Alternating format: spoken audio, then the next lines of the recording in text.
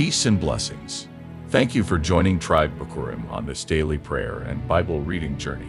We will read through the Bible using the one year Bible reading plan and end in prayer. Today is May 18th, and we will be reading from 1 Samuel chapter 22 verses 1 through 23 and chapter 23 verses 1 through 29. John chapter 10 verses 1 through 21. Psalm chapter 115 verses 1 through 18 and Proverbs chapter 15 verses 18 through 19. Let's begin. 1 Samuel chapter 22 verses 1 through 23. David flees to Adullam and Mizpeh. David therefore departed there, and escaped to the cave of Adullam. When his brothers and all his father's house heard it, they went down there to him. Everyone who was in distress, and everyone who was in debt, and everyone who was discontented gathered themselves to him, and he became captain over them. And there were with him about four hundred men. David went there to Mizpeh of Moab, and he said to the king of Moab, Please, let my father and my mother come out with you, until I know what God will do for me.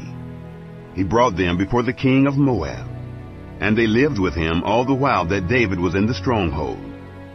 The prophet Gad said to David, don't stay in the stronghold. Depart and go into the land of Judah. Then David departed and came into the forest of Hereth. Saul slays the priests of Nob. Saul heard that David was discovered, and the men who were with him. Now Saul was sitting in Gibeah, under the tamarisk tree in Ramah, with his spear in his hand, and all his servants were standing about him. Saul said to his servants who stood about him, Hear now, you Benjamites. Will the son of Jesse give every one of you fields and vineyards? Will he make you all captains of thousands and captains of hundreds, that all of you have conspired against me? And there is none who discloses to me when my son makes a treaty with the son of Jesse?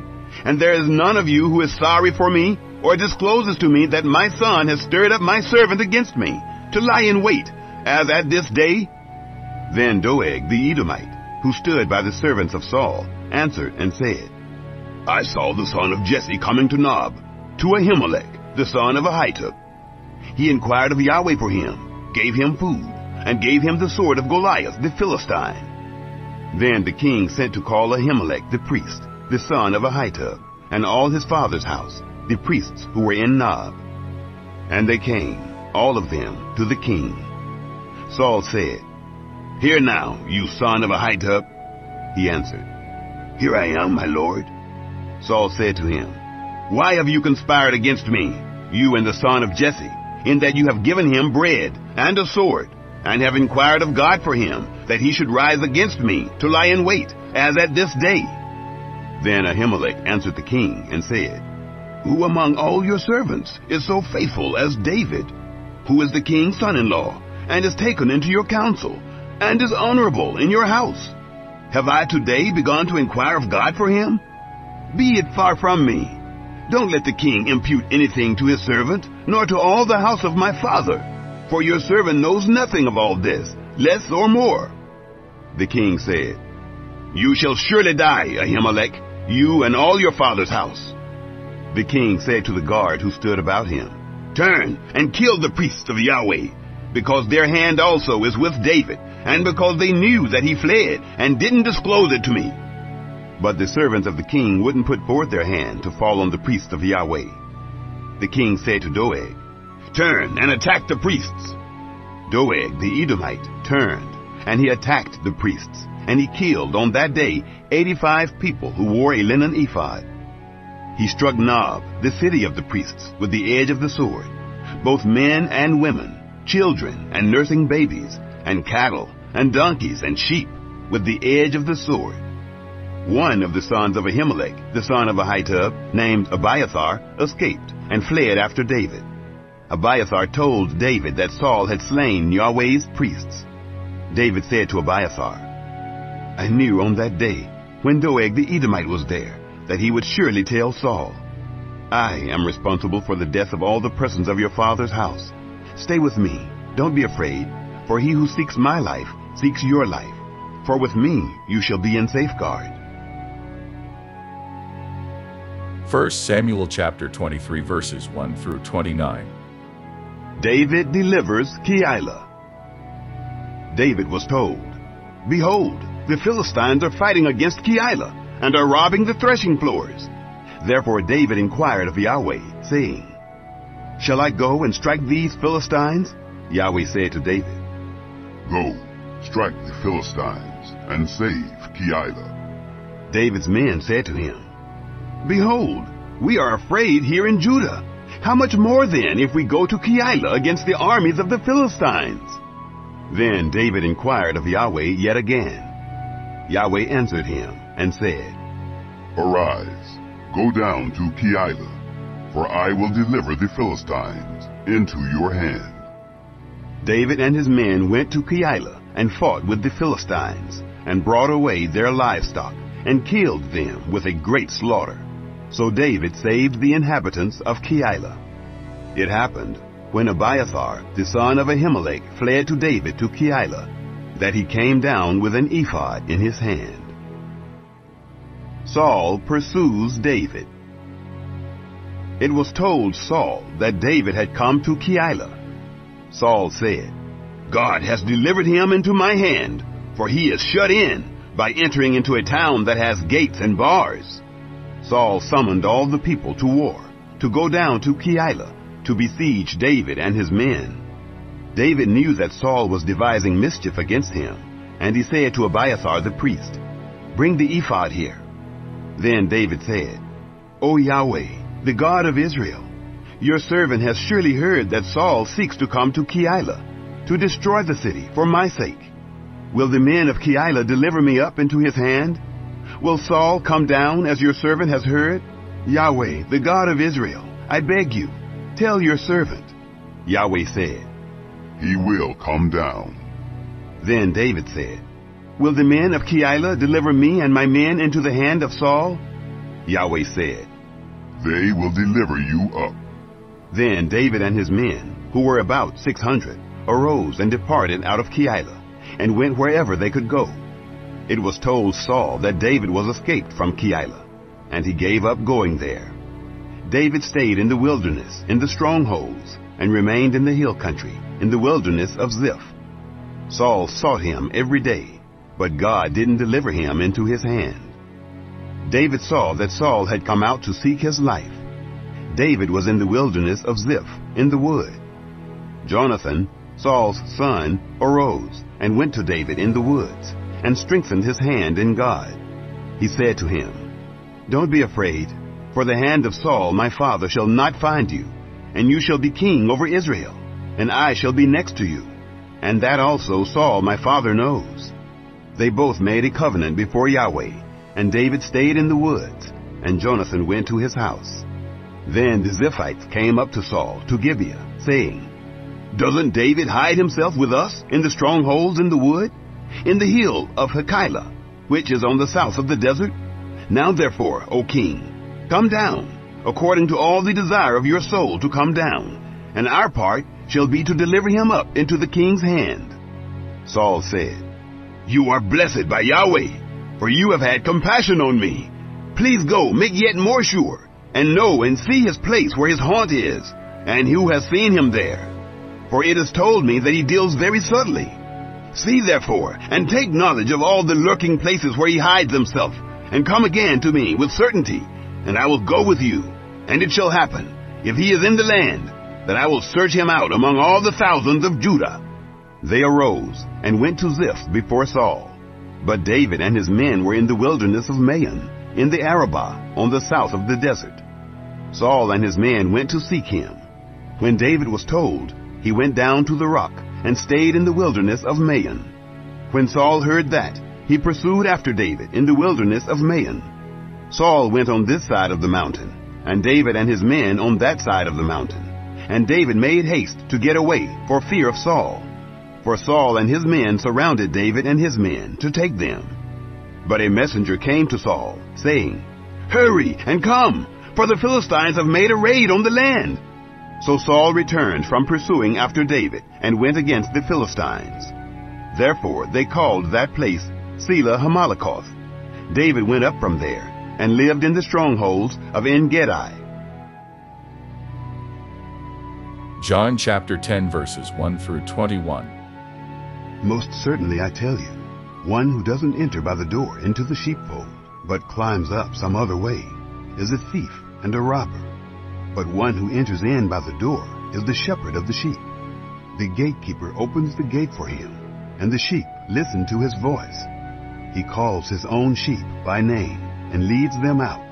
Whenever he brings out his own sheep, he goes before them, and the sheep follow him, for they know his voice. They will by no means follow a stranger, but will flee from him, for they don't know the voice of strangers. Jesus spoke this parable to them, but they didn't understand what he was telling them. Jesus, therefore, said to them again, Most certainly, I tell you, I am the sheep's door. All who came before me are thieves and robbers, but the sheep didn't listen to them. I am the door. If anyone enters in by me, he will be saved, and will go in and go out, and will find pasture. The thief only comes to steal, kill, and destroy. I came that they may have life, and may have it abundantly. I am the good shepherd. The good shepherd lays down his life for the sheep. He who is a hired hand and not a shepherd, who doesn't own the sheep, sees the wolf coming, leaves the sheep, and flees. The wolf snatches the sheep and scatters them. The hired hand flees because he is a hired hand and doesn't care for the sheep. I am the good shepherd. I know my own, and am known by my own, even as the Father knows me, and I know the Father. I lay down my life for the sheep. I have other sheep which are not of this fold. I must bring them also, and they will hear my voice. They will become one flock with one shepherd. Therefore the Father loves me, because I lay down my life, that I may take it again.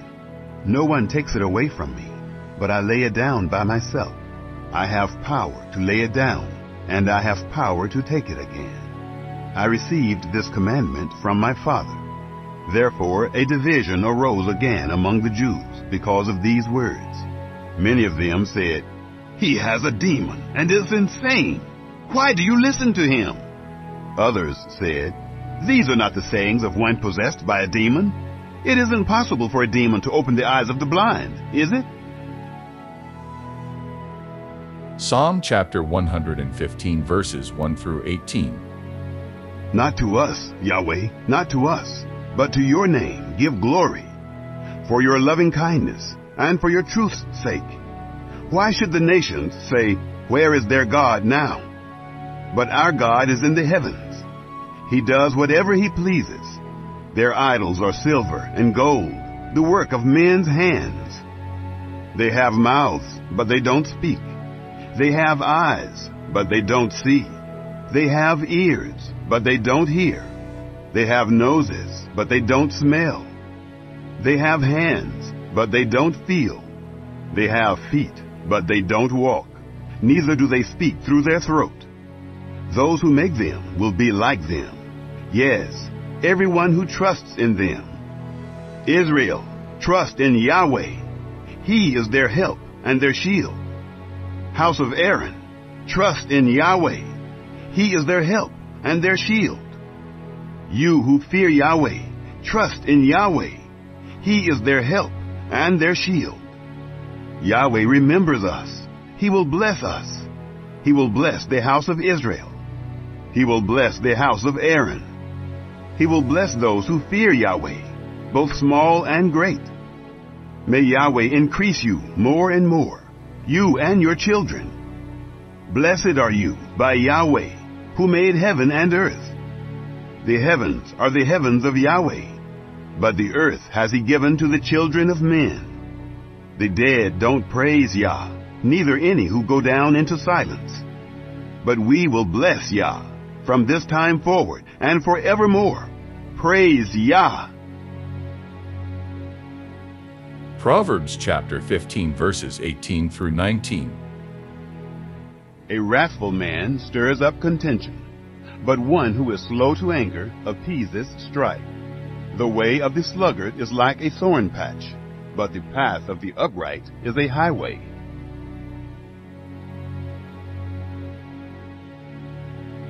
Lord, we thank you for being our provider. You hide us under the shadow of your wings when we need protection. You supernaturally provide for us and bless us with your divine favor. No one can love like you. No one can provide like you. No one can heal like you. No one can save like you. Thank you for giving us the gift of being the apple of your eye. All glory belongs to you, our God and King. We recognize you in your power and ask your forgiveness for anything we have said, done, or thought that was unpleasing to you. Create in us clean hearts and renew right spirits within us. Bless us with knowledge, wisdom, understanding, maturity, discernment, and focused minds. Take away any thoughts or feelings that are not in alignment with you. Open our eyes to the wonderful things of your law and make it an engrafted word in us. May we live lives according to your will, denounce our sinful nature, lay our sins at your feet, and walk in obedience to you for your glory. Father, we desire to be pleasing in your sight and ask that you bless us with keen eyes and ears that we may always recognize false doctrines. May we always remember to be quick to listen, slow to speak and slow to become angry. Make us to be wise as serpents and innocent as doves that we may walk in wisdom for your glory. We present our bodies as living sacrifices to you and ask that you make us aware of your presence and what you are doing in the earth today. Cover us with the precious blood of Jesus Christ. Keep our physical bodies, our nation, homes, modes of transportation, places of employment, bank accounts, credit and investments, and communities safe from all hurt, harm, and danger. Expose and obliterate anything that dares to come against your people. Bring complete and total healing to our minds, emotions, and bodies. May your perfect will be done in the earth. We pray this prayer over ourselves and everyone connected to us in the matchless name of Jesus Christ, our Lord and Savior. Amen. May the shalom peace of God follow you for the rest of your days.